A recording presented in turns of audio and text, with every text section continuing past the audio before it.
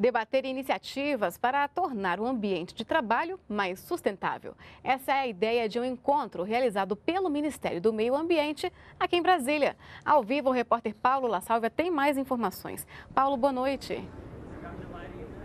Boa noite, Aline. Essa ação se chama Agenda Ambiental da Administração Pública.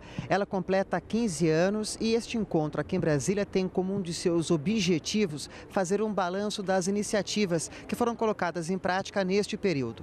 Quem vai conversar um pouco com a gente sobre o assunto é Ana Carla Almeida, do Ministério do Meio Ambiente. Boa noite, Ana. Quando você chega numa, num órgão da administração pública, a primeira coisa que você vê é a coleta seletiva de lixo a divisão que existe. Além dessa iniciativa, outras foram tomadas nesse período, nesses 15 anos, nesse sentido da agenda ambiental da administração pública? Certo. Bom, boa noite. Sim, a agenda ambiental, além de apoiar a coleta seletiva solidária, ela trabalha em outros cinco eixos temáticos.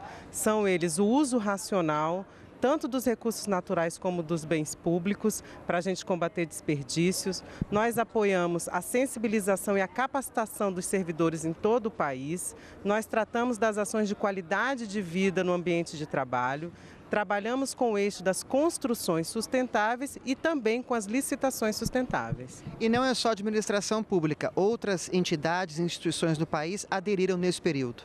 Sim, a gente não trabalha voltado para Brasília. A gente trabalha com as três esferas de governo, né, estados e municípios, recentemente com bastante foco, inclusive nos municípios.